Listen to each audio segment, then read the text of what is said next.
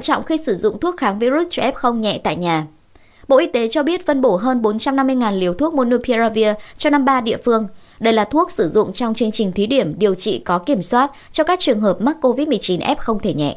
Trước đó, từ cuối tháng 8 năm 2021, Bộ Y tế thí điểm chương trình điều trị có kiểm soát bằng thuốc Monupiravir cho các trường hợp mắc COVID-19 thể nhẹ. Thành phố Hồ Chí Minh là nơi đầu tiên triển khai. Đến nay, chương trình triển khai tại 53 tỉnh thành. Người sử dụng thuốc Monupiravir là các F0 trên 18 tuổi thể nhẹ, có thể dùng thuốc bằng đường uống.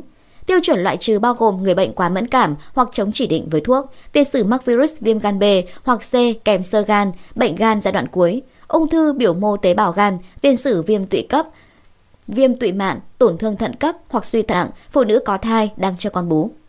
Liên quan sử dụng thuốc Monupiravir, Bộ Y tế cảnh báo thận trọng khi dùng thuốc. Theo đó, để đảm bảo an toàn hiệu quả, chỉ sử dụng thuốc Monupiravir khi có đơn của bác sĩ theo đúng quy định. Các giới hạn sử dụng và các cảnh báo thận trọng của thuốc. Không tự ý mua, sử dụng thuốc Monupiravir trôi nổi, không rõ nguồn gốc, xuất xứ trên thị trường.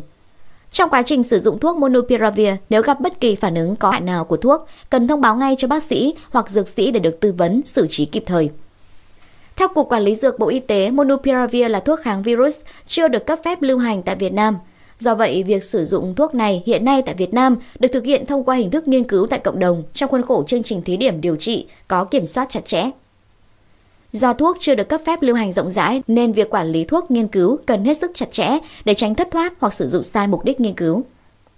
Vừa qua, trước thực tế thuốc kháng virus điều trị F0 có dược chất Monupiravir được giao bán trên mạng xã hội và các nền tảng trực tuyến, Cục Quản lý Dược khuyến cáo đây là thuốc đang được thử nghiệm lâm sàng hoặc thuốc nước ngoài chứa dược chất Monupiravir, Pavipiravir chưa được cấp phép lưu hành tại Việt Nam.